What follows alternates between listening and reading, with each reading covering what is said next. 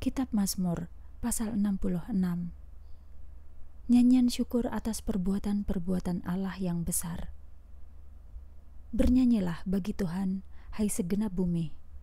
Nyanyikanlah namanya yang mulia. Beritakan kemuliaannya kepada isi dunia. Betapa dahsyatnya perbuatan-perbuatanmu ya Tuhan. Betapa besarnya kuasamu.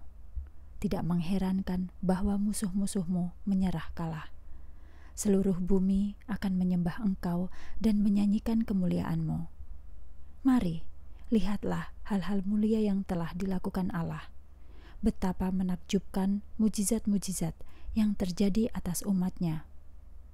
Ia membuat jalan kering bagi mereka melintasi laut, sehingga mereka dapat menyeberang dengan berjalan kaki. Alangkah besarnya kegembiraan dan sukacita pada hari itu karena kuasanya yang besar, ia memerintah untuk selama-lamanya. Ia mengawasi gerak-gerik segala bangsa. Hai bangsa-bangsa pemberontak, ia akan mengempiskan kesombonganmu. Biarlah semua orang memuliakan Allah dan menyanyikan puji-pujian baginya, karena dialah yang memegang nyawa kita di tangannya dan menetapkan langkah kaki kita. Engkau telah memurnikan kami dengan api ya Tuhan, seperti orang memurnikan perak. Engkau menangkap kami dalam jaringmu dan menaruh beban-beban berat di atas pundak kami. Engkau menyuruh pasukan-pasukan untuk menggilas tubuh kami.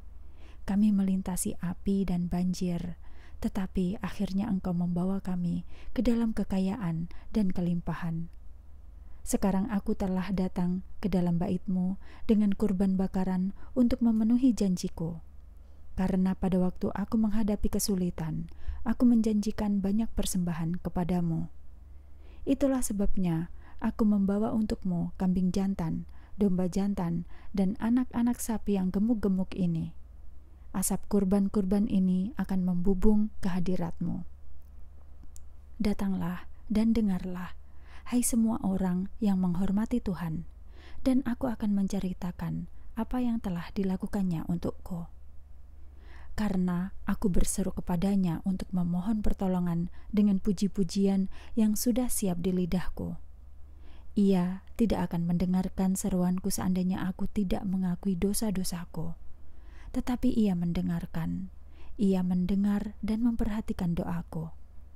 Terpujilah Allah yang tidak memalingkan muka ketika aku berdoa dan yang tidak segan-segan menyatakan kebaikan hati dan kasihnya kepadaku.